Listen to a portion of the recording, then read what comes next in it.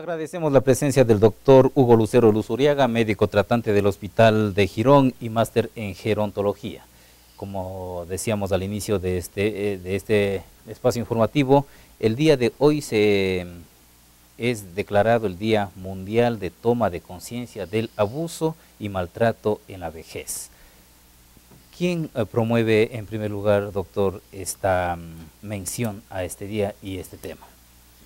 Bueno, eh, lo que quienes promueven son los invisibilizados efecto, mi querido Eloy, eh, decirle de que el tema maltrato es un tema tabú, que ha existido siempre y lo sigue existiendo. Sin embargo, de, de lo cual ningún gobierno, ningún Estado y pocas personas se han dado cuenta de la grave situación por la cual pasan los adultos mayores.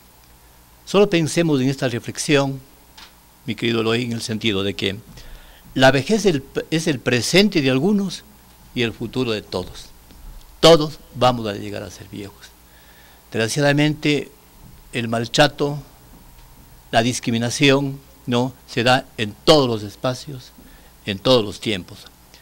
Debo decirle que este maltrato se da desde el hogar, pasando por lo institucional, por la comunidad, por la sociedad e incluso hasta un tema estructural.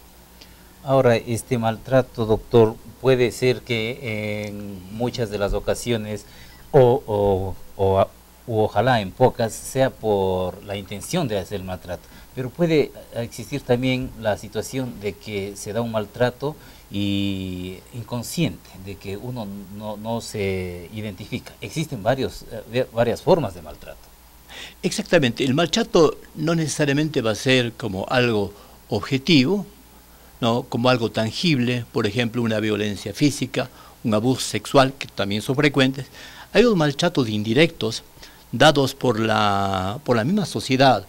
En el caso de la discriminación por parte de la prensa, la discriminación por parte de ciertas entidades culturales, y la misma sociedad que los crea estereotipos a los adultos mayores. Al adulto mayor lo ven como algo que nos sirve, como producto de desecho humano, hasta tal punto que se ha llegado a ponerlo en los famosos ancianatos, que ahora el MIES y muchos de estas instituciones no, ya no quieren saber nada de este tema, porque le está quitando el derecho al adulto mayor a vivir en familia, a vivir en sociedad, a vivir en el colectivo, ¿no? Y los dejan prácticamente abandonados en estos espacios que prácticamente son espacios de terror, espacios de muerte. Otra cosa importante también es el, maltrato que se va a nivel estructural, a nivel de la sociedad, la carencia de políticas públicas que vayan en función del bienestar del adulto mayor, la, falta de, hacer que se cumplan ciertas exigencias por parte de la sociedad, por ejemplo, en el, tema movilidad. Muchos adultos mayores son eh, discriminados en cuanto a, en los buses, incluso en espacios, hay espacios inaccesibles dentro de las casas. Ahora con el tema modernidad, las casas se les construye, usted sabe perfectamente, mi querido Eloy, con una cantidad de desniveles, posiblemente bien para un joven, pero muy mal para un adulto. El adulto tiene sobrecaídas, fracturas, esto también son temas de maltrato. Ahora, existe y creo que debe ser un tipo de maltrato como se utiliza a las personas adultas mayores. Le pongo un ejemplo. En las leyes de la República hacen que las personas adultas mayores tengan eh, preferencia, por decir, en un banco.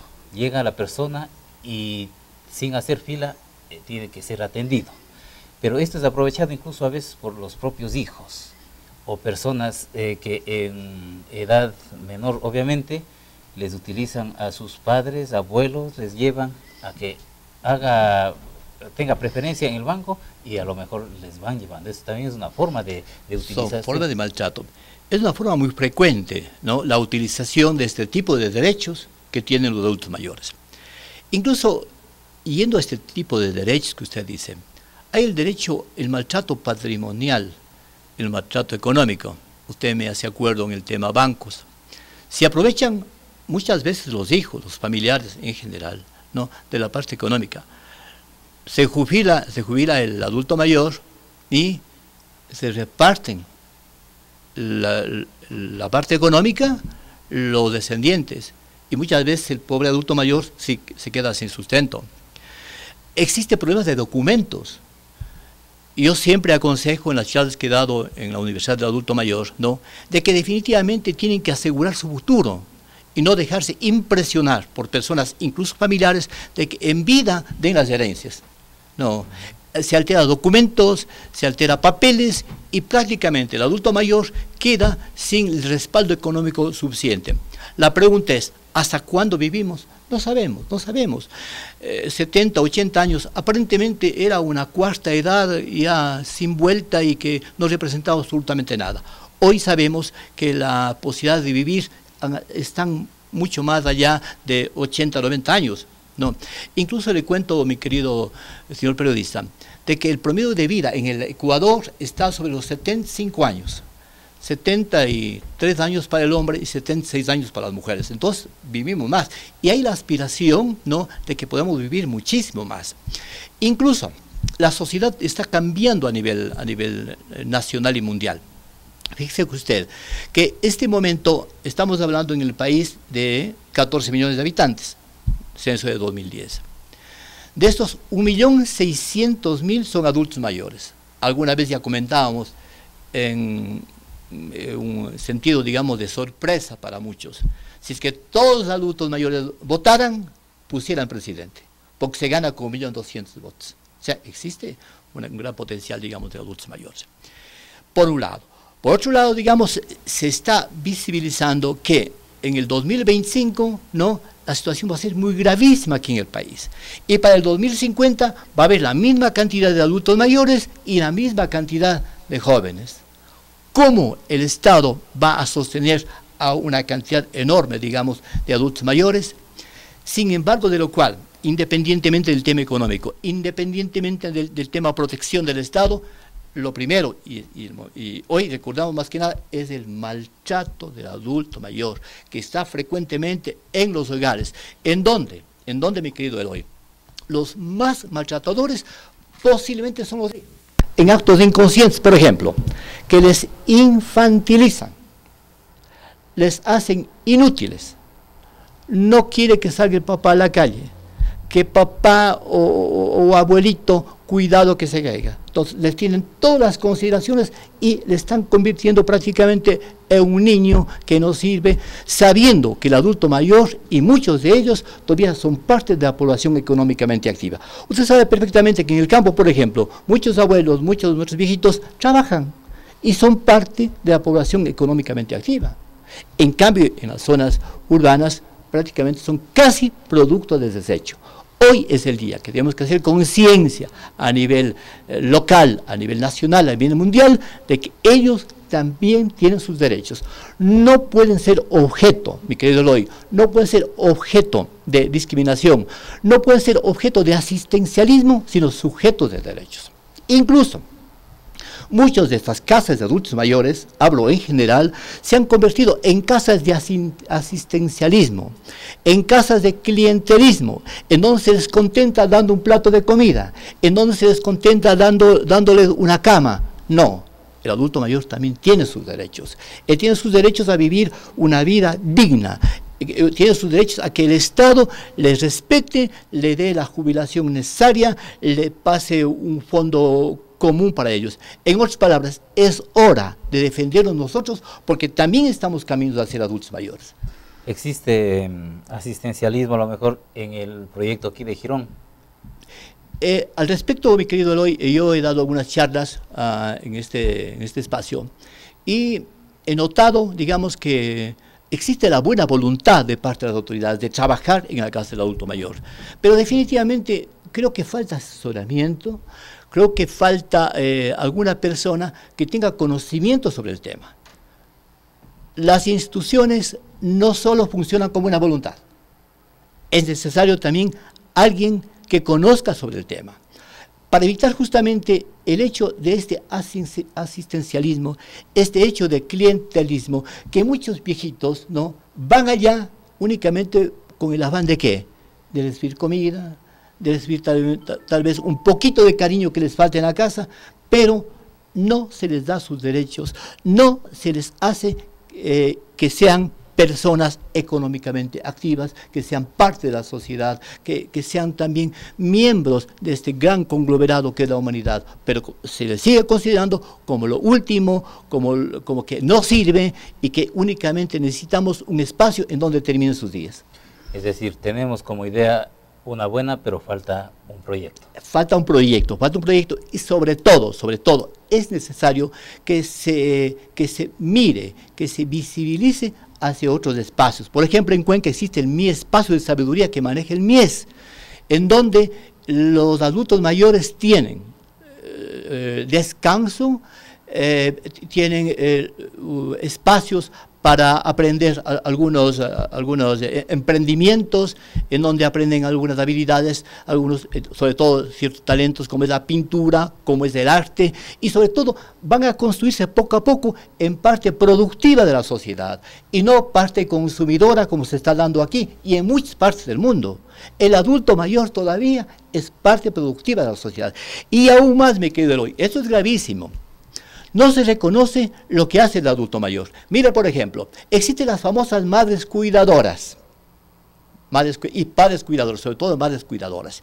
Muy cómodo, el hijo y la hija se van a trabajar y dejan a la pobre madre, a la pobre abuelita, que cuide a los hijos. No, aparentemente como primeros días es un, espacio de alegría, de distracción, pero después es una carga para el pobre adulto mayor que genera en conflictos emocionales, en estrés, en depresión, en hipertensión y en enfermedad en sí. Eso por un lado. Por otro lado, también existe, eh, eh, sobre todo en, nuestro, en nuestro medio con un alto alta porcentaje de migración, en donde existen los abuelos, los adultos mayores administradores, en donde padre y madre están en el extranjero y administran el hogar los abuelos y abuelas. ¿Quién les recompensa a ellos? Muchas veces reciben vituperios de parte de los familiares por no saber cumplir las funciones, cuando ellos no están llamados para eso, ellos ya pasaron esa época, ellos, a ellos necesitan servirles y darles sus derechos, así, así como oportunamente antes trabajaron y sirvieron al hijo, al hijo, al cuñado y a todos los nietos a los cuales está criando. Ahora aquí en Gironten hay otra realidad invisible, hay muchos adultos mayores abandonados, viven solos en las comunidades. ¿Qué hacer ante ello? Es el gran problema, digamos, eh, a nivel no solo nacional, es a nivel mundial, la falta de políticas públicas. Hace muchos años existió la ley del anciano, que solo con el término anciano se le estaba discriminando al ser humano ahora se está tramitando, trabajando en la Asamblea Nacional, ¿no? la ley de protección de los derechos colectivos. Desde ese punto de vista se va a trabajar, digamos, para que todas estas personas indigentes, todos estos viejitos, entre comillas, que no tienen eh, alimentación, que no tienen eh, un refugio, no, el Estado debe encargarse de velar por ellos, porque alguna vez dieron al Estado y no puede el Estado abandonarlos. En otras palabras, el gran problema es que falta política pública para el adulto mayor.